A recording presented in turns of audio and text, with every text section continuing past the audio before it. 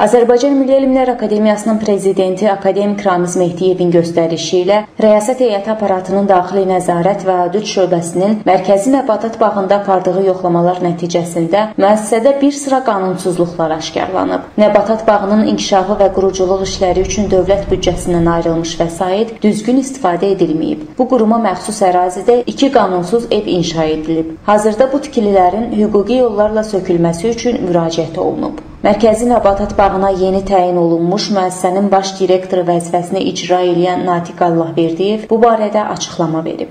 Amiyanın rəisət heyəti aparatının daxili nəzarət və audit şöbəsinin apardığı yoxlamalar nəticəsində arayış tətbiq tətbiq olunubdur. 10 illərdir bu ağacların dibi bellənməyib, aqrotexniki xidmətlər olunmayıb. Natiq Allahverdiyev bildirib ki, Mərkəzi Nəbatat bağında başlanılan quruculuq işləri ilə bağlı bəzi media nümayəndələri araşdırma aparmadan qarayaxma kampaniyaları aparıb. Bu çirkin işlərindən əl çəksinlər.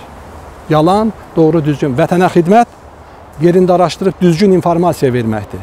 Dövlətə xidmət düzgün məlumat verməkdir. Dövlətə xidmət çalışmaqdır. Məqsəd budur ki, ağaclar su ilə təmin olunsun, ağacları aqrotexniki xidmətlər olunsun və mərhələli dizayn işləri, ilkin mərhələli plan layihəsi akademiyamıza təqdim olunub, rəhbərliyimizə təqdim olunub. Natiq Allahverdiyev AMIA rəhbərliyinin akademiyanın bütün müəssisələrinin inkişafına nail olmaq üçün məqsədyönlü tədbirlər həyata keçirdiyini bildirib. Bu gün Azərbaycan Milli Elmlər Akademiyasında çox ciddi islahatlar həyata keçirilir.